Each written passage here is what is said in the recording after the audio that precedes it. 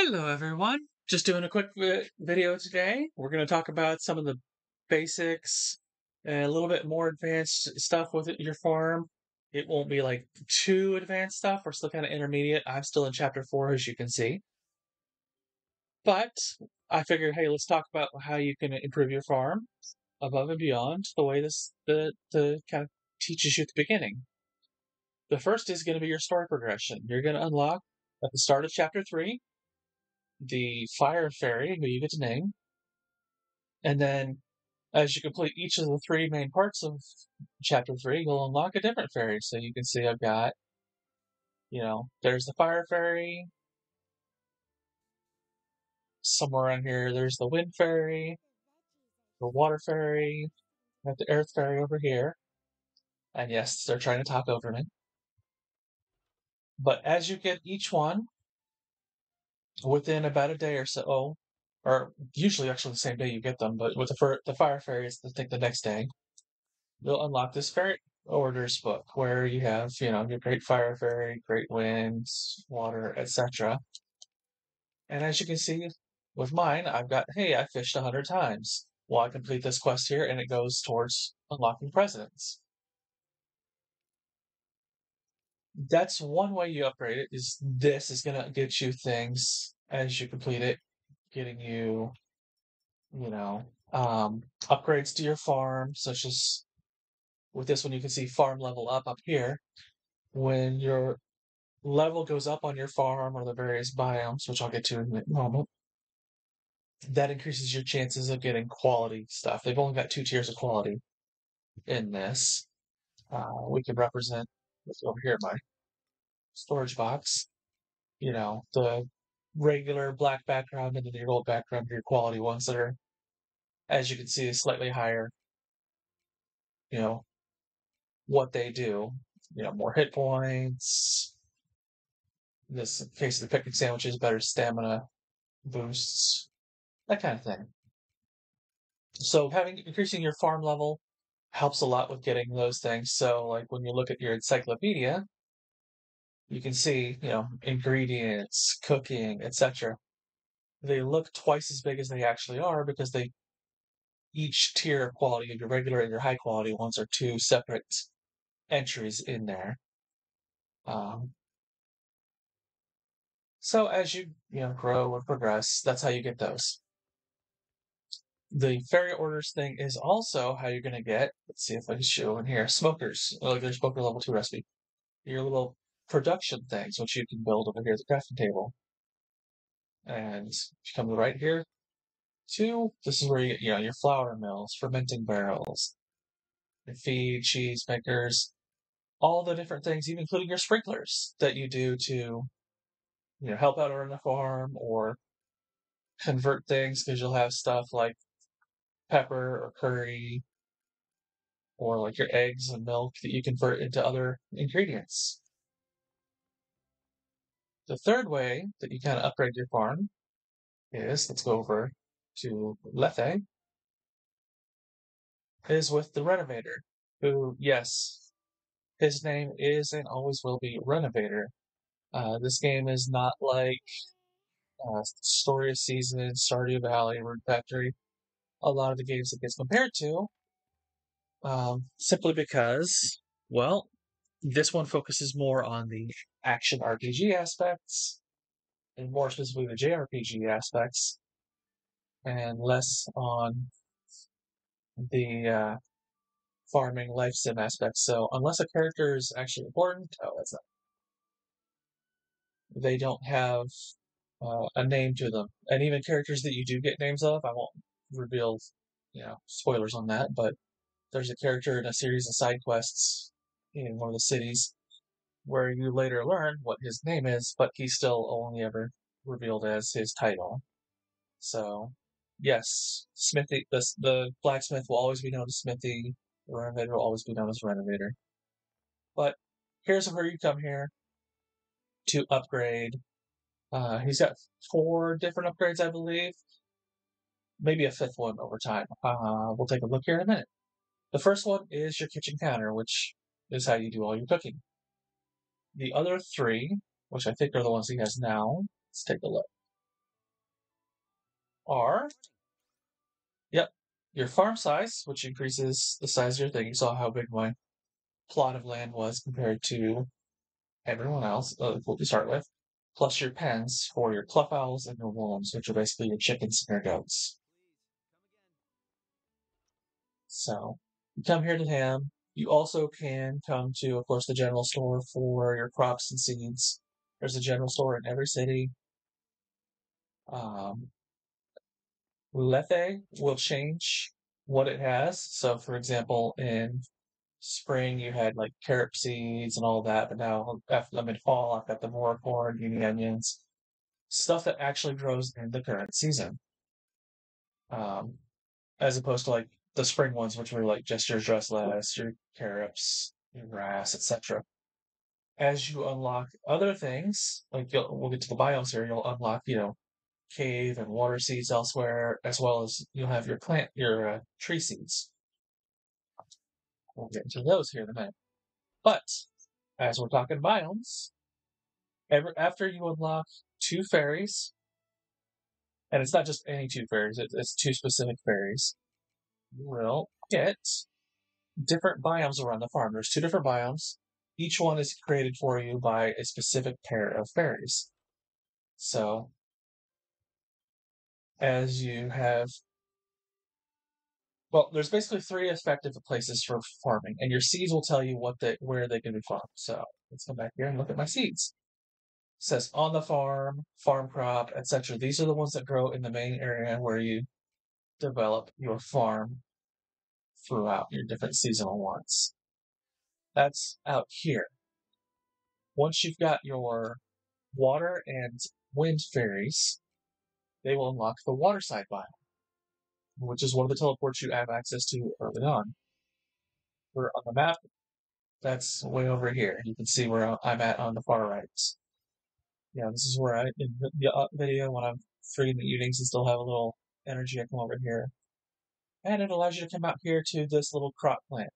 You can't expand the size of it, but there's not a lot of plants you can place here. The nice advantage is they do grow all three seasons. There's no like just spring, just summer, just fall ones that I found so far, including these Lococo nuts, which are trees. Trees do not die in between seasons, whereas everything else, even if it's a recurring uh, harvest seed across two seasons. So, for example, the Nemean tomatoes that grow in spring and summer, they will die when quietus comes, even if they're recurring. And I'm kind of all over the place, I'm aware. But these ones up here, like you've got your trees, those will grow up there. There's other ones you can put up here. Um, what I found so far is mostly just stuff for like desserts. It's a uh, type of flower that doesn't recur, and the should come back and find them for my box. So I'll go check it there. Let's see. They are what grows there, the Lococo nuts, which you can do make coconut juice or coconut milk, which I don't think I have any. But you can also grow honey flowers, which turn into syrup, and curry herbs. There we go down here, the nectar cane, which turns into sugar when you process them. Your other one, I'll run there to show you where it's at, is going to be your cave. This rock out back here gets de- destroyed once you have saved the earth fairy, because you're always going to have the fire fairy already. And that gives you the cave biome, where you can grow. So far, I found suitor peppers, which are kind of like your red peppers, revel pepper, which are like peppercorns. You grind those into making the black pepper, and curry herbs, which you grind into turning into pepper or into curry powder. There's also, you know, little pool here, etc. The nice thing about the two biomes is one, you never have to water water anything in them. The ones that you plant in the cave biome are very specifically stated as they like dry places. They never need to be watered. And of course, the water biome, as you saw, it's underwater. I don't have anything planted here though right now, other than my two trees. Um, like I said, trees most of the plants will die at the end of the season. You have 30 days to each season, and then one day of quietus. So even stuff like, for example, I've got eggplant here, which is regrowing. Uh, rainbow beans are regrowing, etc. Uh, your Nemean tomatoes will be your first ones in spring. Those will die at the end of the season when it starts to be the uh, new when quietus happens. Trees like these, like at the the purple grapes, the numble lemons, princess chestnuts, here the snow capped the coconuts that I've got up there. Those will survive through quietus. Now that said, you can see I'm like the middle of the month here, and I've got things like my rainbow beans. I had to replant these because the ones that will say they continually grow. So your cucumbers can be reharvested. Nemean tomato seeds can be reharvested. Straw buddies can be reharvested, etc. These ones actually only have a can be reharvested so many times. It's not like Stardew Valley or Rune Factory where they'll just keep regrowing. Actually, maybe it is kind of like Rune Factory. With Rune Factory, your soil has a health level, and so do your plants. And once they reach a certain point, they stop regrowing. If that's a, a factor in this game, I have not seen any evidence of it. But that's a good example of, you know, after you know, four or five or three, whatever, harvests, everything dies, that your reharvestables can be reharvested. Now, that said, in addition to the biomes and the crafting things that you unlock from the fairies, which is going to be your main source of upgrades, you also get things like that. You see this plow skill here, stamina down. Uh, see. Oh, I'll just go to my keys things. They upgrade basically the various tools you have. So, like the Fire Fairy will give you your plow skill, which can increase when you charge up. So, they come out here and find a spot to do so.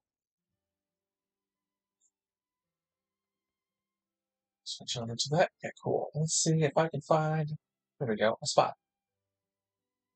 Instead of just, you know, hitting and doing just one thing, I can sit and charge and go to one, and this would actually go to three by three at level two. There may be a level three version of these skills that I don't, but I have yet to see it. Um, the water fairy will give you the same for watering. Know, level one upgrade, boom. And so you can do the whole, etc. The Wind Fairy will upgrade your harvesting. And again, same thing. Press and hold. Harvest a large area. And you'll see which fairy it is. They'll show up when they help you. Uh, finally, the Earth Fairy, I don't have any big rocks on here to demonstrate. But those big rocks that you have on your uh, farm at the start, and even the ones that you get as you upgrade the farm's space, I can't afford the next one right now. It's 25,000 Gorilla. But probably be into this area. You'll have those large rocks, and that, that'll unlock with the Earth Fairy. You also unlock, uh, you know, tools above and beyond the, you know, processing machines, which is like these sprinklers here. There's a level one and a level two over here. Uh, you'll unlock the ability to use this, where if you've got an accessory like this one, that has that open space with dash dash dash, you can fuse it with another one and get something else. So you can blend accessories and make your perfect personal accessory and so on. So you unlock a lot through the fairies. So definitely do a lot of harvesting, a lot of fishing. See what else do they give you stuff for? Cooking, craft, you know, so coming over here to your kitchen, you'll get your recipes from various places, including uh, buying them from the general stores, doing quests. There's a side quest in each city, or there's like a, a bar or a tavern where they ask you to cook recipes. and they'll give you money and recipes and so on for them. So you can do, you know, per city uh, here. And you can see the ones that I've crafted versus the ones I haven't.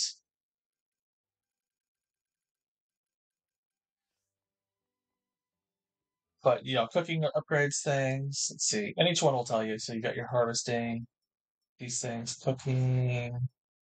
Uh, when they give you a new thing, like the dessert maker, I think this one has the juice thing, like the flour mill, fermenting barrel, turn bells, etc. You can update these. So usually when you a new fairy, you've done a whole lot of their stuff, so you can get several levels upgraded.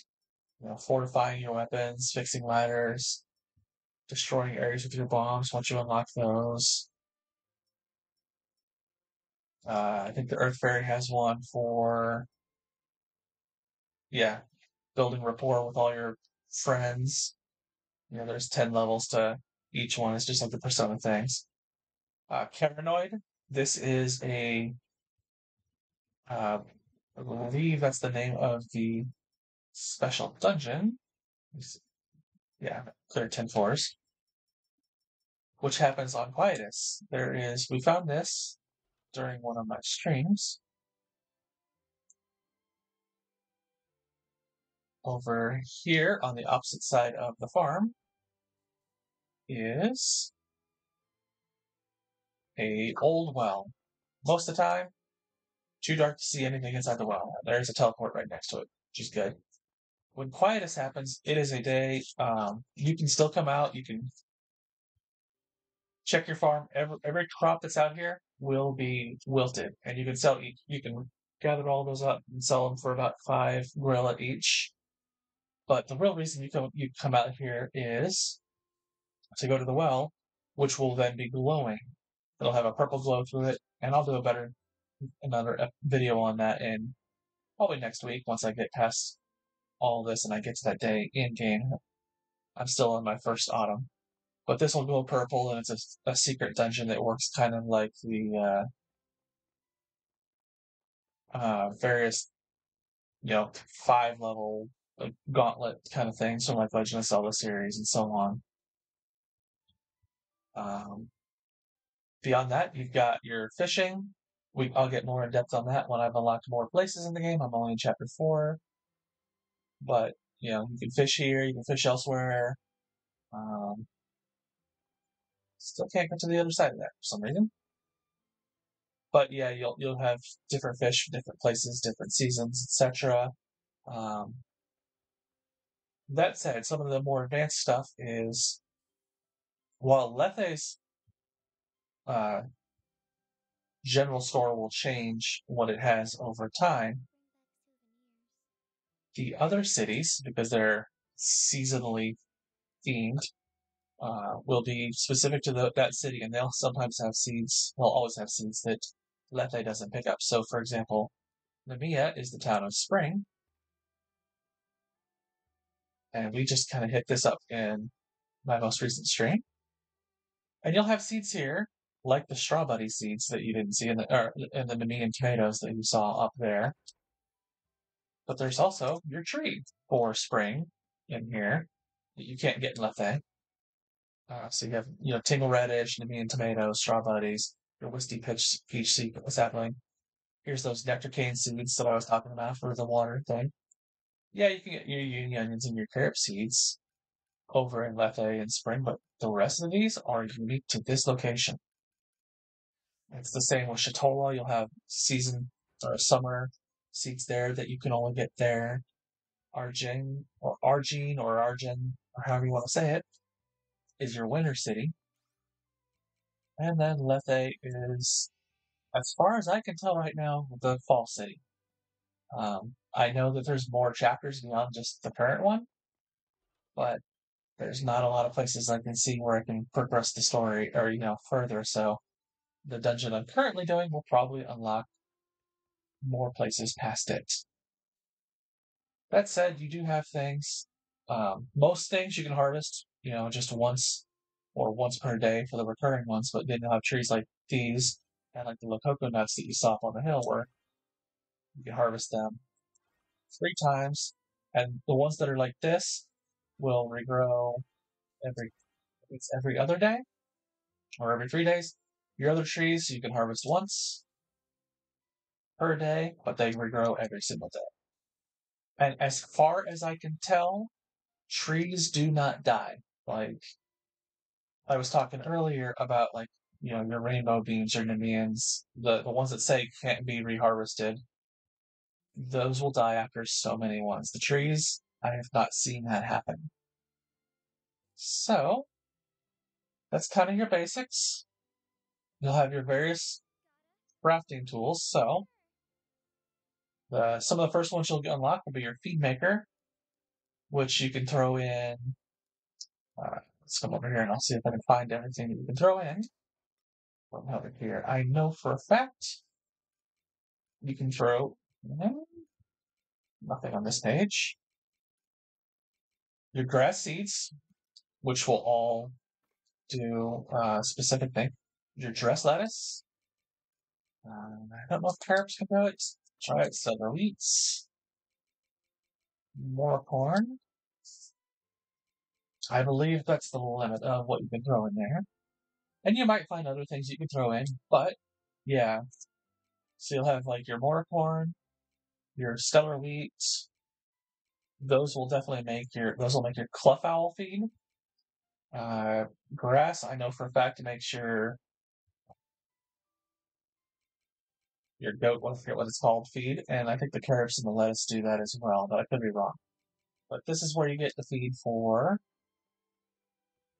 your little over here things for your uh, pet, your cluff owl, and you know you, you have heart limits on these that increase their chances of things, and it's your cluff owl. And what is this one called?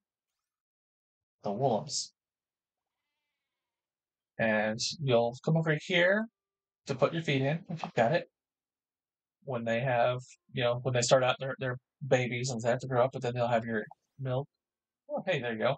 And that's a good example. As you increase their infection, they increase their chances of giving you quality stuff. They also increase their chances of dropping stuff like this, which is a, solid, or a splendid horn for the woolums and premium feathers, can see. Oh, that's a different one than I last saw. But these are just things you you sell. They'll drop. And so you can put those and just sell those and make money, you know, even if you don't sell the eggs and the milk and you're using those as ingredients. So that's your livestock thing and your feed. You'll, one of the first things you'll get is your flour mill. You put in three wheat to make one thing of flour. Uh, you'll soon get a, the fermenting barrel is also one of the first ones. You just put in simply all of these, and you get different kinds of juices. Let's see if I have a list. I'll my encyclopedia actually. So you've got your vegetable juices, your hop juices. I don't know what this one is. Tomato juice. You can make lemon juice, coconut juice, fruit berry juice, so on. So you'll probably have different like fruit juices and other types of juice that you can make, depending on what you put in there. Most of like the what I've got here. Let's see. These will make vegetable juice. So grape juice, I can put one of those in, and that'll probably make a wine or a grape juice, and so on. That one uses one. Uh, cheesemaker uses three milk. If you use, you can all, you have to do all the same quality for these. If the ones that take three or more, but that you get the higher qualities. Uh, you get a smoker. These over here all get done one in one day. A smoker is, I want to say, about a week. You throw in meat and maybe fish. I haven't done that. There's something else you can throw in there. Let's take a look what it says. But you kind of get the basics here. I'm talking about with these. So fermenting barrel, yeah, fruits, vegetables, like drinks, etc. Smoker, meat or eggs. So we'll throw throw an egg in there, and that'll make that. Jam maker, you make fruits, vegetables, etc., and make these jams. It's I believe three of them, and it takes about three or four days. and they sell for about three times as much. Uh, your your level two ones will make you use either nine or ten of the item, depending on what it is, to make more of the items. Uh, mayonnaise maker, self-explanatory. You throw in eggs, makes mayonnaise. Dessert maker. This is where you take those honey flowers to make syrup, nectar cane to make sugar, or the coconuts to make your coconut milk. If you're doing coconuts in the uh, fermenting barrel, you get coconut juice, which is this over here, which is one of the a way to get rid of one of the three types of damage over time effects or continuous physical damage. Um,